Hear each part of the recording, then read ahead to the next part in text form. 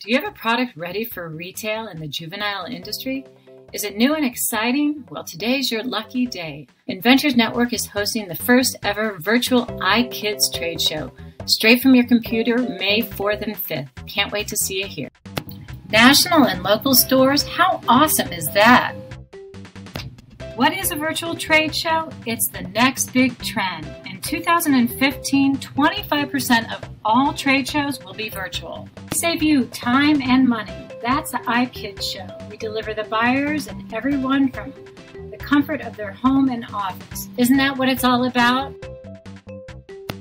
A level playing field. With iKids, you can be assured that all inventors and vendors alike have equal presence.